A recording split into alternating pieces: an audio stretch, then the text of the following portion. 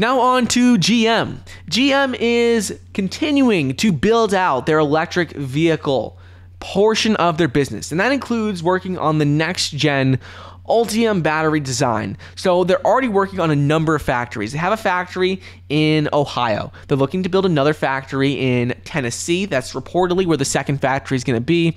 And now they're working on a next gen Ultium battery design. And these advanced lithium batteries have greater range, they're lighter weight, lower cost, and they have a lot of other benefits for future electric vehicles. But the thing is, the first gen, like the current Ultium batteries, haven't even been released yet.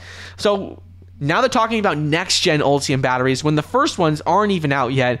They said that you know those are supposed to be released in vehicles by the end of this year, but they're already talking about next gen Ultium batteries and they explain how develop to develop these improved batteries. Um, they are working jointly with a company called Solid Energy Systems.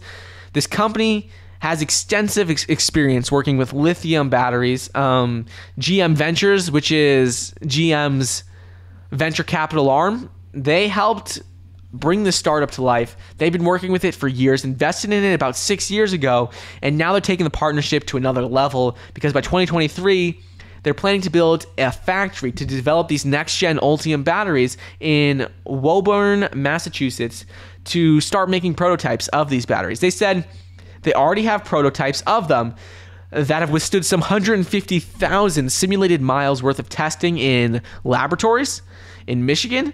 So the design is pretty promising, but as of right now, they said that this is where they're going in the future. They said a lot of companies were looking towards solid state batteries, but they believe that this is going to be better. They said it's more practical, better performing, and it's just a better alternative than solid state batteries. They said it has greater range from batteries of the same size. They said it's lighter and the power generation from them is even more. And according to GM president uh, Mark Reuss in a media release, he said with its next generation Ultium chemistry, they believe they're on the cusp of a once in a generation improvement in energy density and cost. And they have been behind a bit. They've been working to catch up with Tesla as fast as they can. They've been spending $28.2 billion in electric vehicles and battery production, and they are making a major push to take on Tesla in the EV space. They're still behind, but they believe that this Ultium battery that they're working on is a once in once in a generation improvement to electric vehicles, batteries, and it's going to be huge. They think this is going to be a game changer.